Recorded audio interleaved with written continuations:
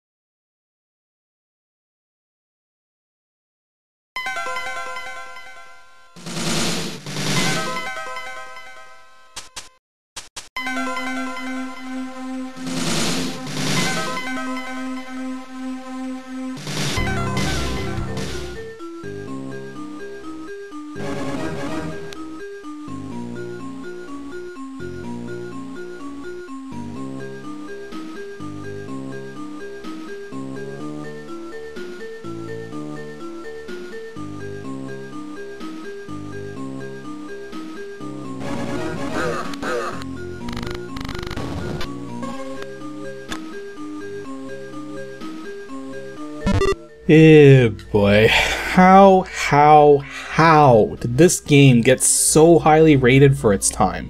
Why was this game as popular as it was when it's chock full of game breaking issues and poor design? Today's Ancient DOS game is Alien Carnage, originally known as Halloween Harry, and I apologize in advance to the large number of people who may like this thing, but this game is just not good. And after we go over the massive number of issues it has, you might agree with me. And yes, I'm playing the latest version that was released as far as I understand. Not to mention DOSBox has long since been internally patched to fix a number of other issues this game originally had when being run through emulation. And not everything I'm going to bring up is an emulation issue for sure. In fact, most of it simply comes down to poor design choices or very unusual hiccups, which I'm surprised weren't addressed. Granted, before we get on to the issues this game has, there are a couple positives. The music is fairly well done, mm, save for the boss music, and the graphics are very bright, vibrant, and interesting. For the most part.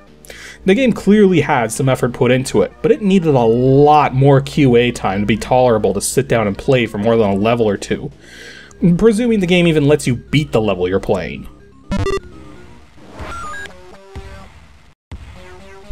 Alien Carnage was first released as Halloween Harry back in 1993, developed by Interactive Binary Illusions and Sub-Zero Software, and published through Apogee.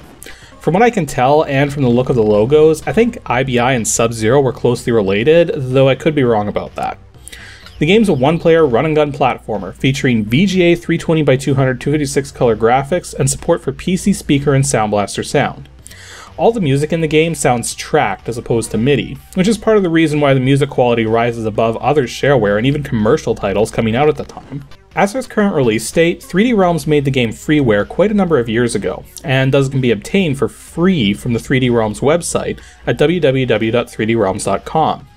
Since the game was sold as shareware, physical copies of both shareware and full versions are out there to be found, and while they're not super rare, they're not easy to find either, and the prices can range dramatically, with the cheapest copies I found being around $8 and the most expensive being over 50 Since the game's free now though, the only reason to go for a physical copy is for sake of collecting.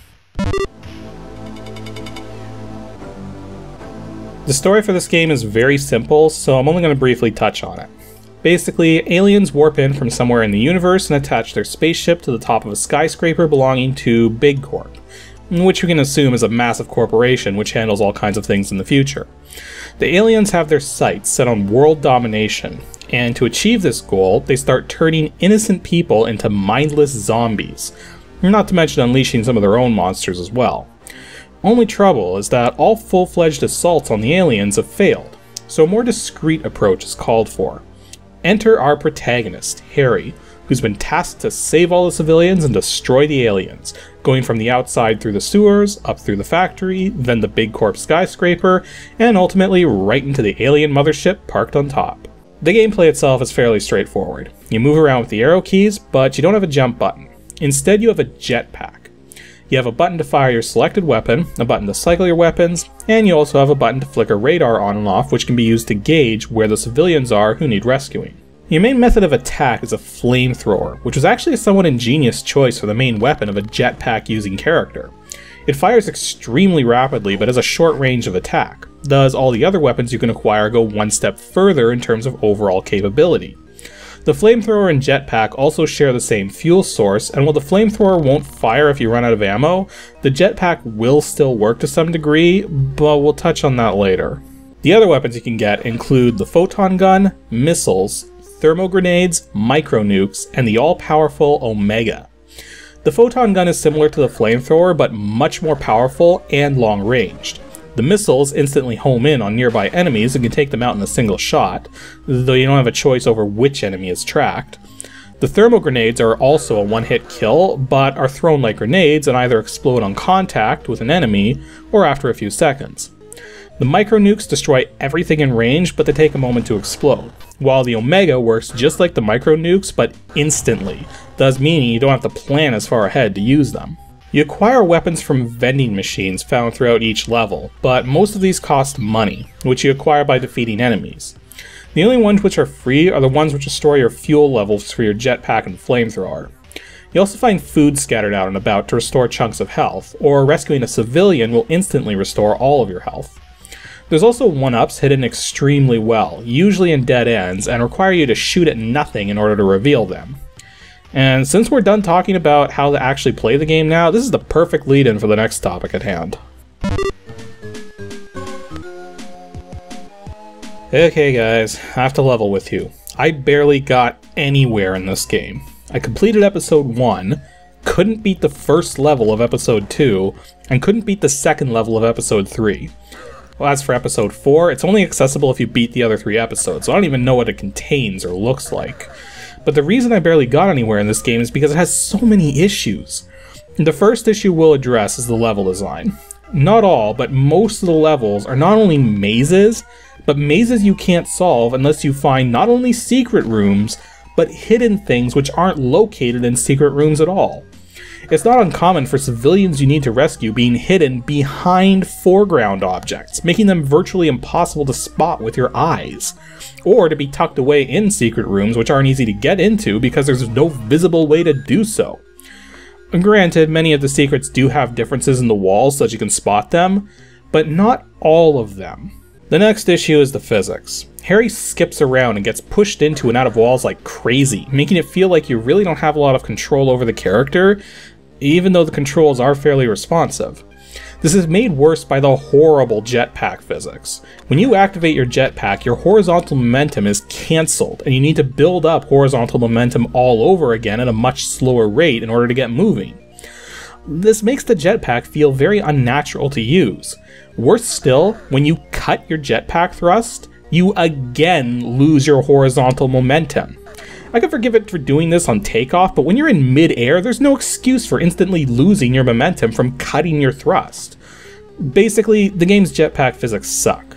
The collision detection isn't very forgiving either, made worse by the collision box for level collisions being substantially different depending on if you're in mid-air or walking. This creates situations where you can never be sure if a wall you're butting into is a secret wall or not without testing it more than once, since falling into walls is natural and can happen without it actually being a secret wall. In terms of shooting your weapons, the hit detection is seemingly pixel accurate, which is okay for the most part, but because of how Harry can skip several pixels at a time, you can't rely on the pixel accuracy to work in your favor. Another poor design decision was the flamethrower and jetpack intermixing but not for the reasons you might expect. Making the jetpack and flamethrower tied to the same fuel source makes sense. The trouble is with this being your primary means of both attack and movement. If you run out of fuel, you not only become unable to attack without secondary weapons, but if you try to use your jetpack, it will cut out at random, often making it take much longer to get anywhere if it's even possible. Fuel dispensers are fairly common, but sometimes there can be a lot of level between two of them, making it very difficult to get back to one, especially when you don't have a secondary means of vertical ascent like jumping. Also, when you don't have your flamethrower selected, you have no idea how much fuel you have left for jetpacking. Speaking of, the weapon power indicators work well enough for the micro nukes and Omega, but for all other weapons, it doesn't clearly indicate how many shots you have left as each tick on the power meter actually counts for several shots. On the topic of the status bar, the manual alludes to there being a timer which would have been used for bonus points if you could beat a level quickly, but this was changed at some point to a captives counter, since the goal of each level was changed so that you had to rescue all the civilians before you could move on. And there's another oddity like this, but to a much more extreme degree. In the manual, Mission 1 is indicated as a skyscraper, and Mission 3 is indicated as the sewers. Yet when you actually play the game, Mission 1 is the sewers, and Mission 3 is the skyscraper. Mission 1 also happens to show Mission 3 as the boss image during the briefing, while Mission 3 shows Mission 1 on the boss image. The levels are clearly sewer based for Mission 1 and building based for Mission 3, so I can only imagine a last minute decision was made at some point to swap the two level sets which, given the fact that the skyscraper missions actually provide tutorial type messages to help you learn how to play the game, it makes it extremely weird and out of place to finally get those messages in Mission 3 long after you've figured these details out the hard way by dying and getting stuck a lot, and ultimately reading the manual because there was no help in Mission 1. There's a number of bugs too. For instance, in this particular sewer level, you're supposed to be able to jetpack into this area to save that civilian but collision boxes must have been changed at some point or something because there's no way whatsoever to access that area. I just got really lucky with the collision detection and managed to have just a single pixel of my character touch a single pixel of the civilian without actually getting up there. Another bug is the switches. You activate switches in this game simply by pressing the fire button while over top of them. Sounds fair enough. Except the instant the switch is toggled, you're able to fire your weapons again, meaning it's very easy to lose shots of your expensive special weapons just from trying to toggle a switch.